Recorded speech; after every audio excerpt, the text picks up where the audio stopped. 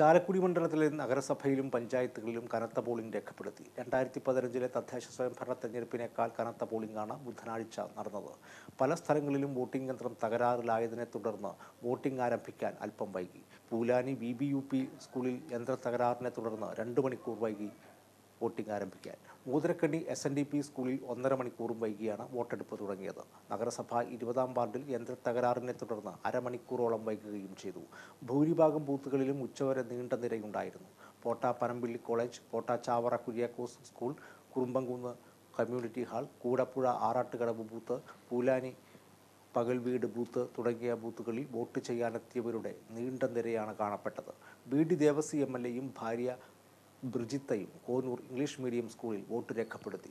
നഗരസഭാ ചെയർപേഴ്സൺ ജയന്തി പ്രവീൺ കുമാർ മുപ്പത്തിയാറാം വാർഡിലെ ഉറുമ്പൻകുന്നിൽ വോട്ട് രേഖപ്പെടുത്തി. ഇരുപത്തിയഞ്ച് വർഷത്തെ കേബിൾ ടി വി പാരമ്പര്യം ഇരുപത്തഞ്ച് ലക്ഷം കസ്റ്റമേഴ്സ് കേരള വിഷൻ കേരളത്തിന്റെ സ്വന്തം ബ്രോഡ്ബാൻഡ്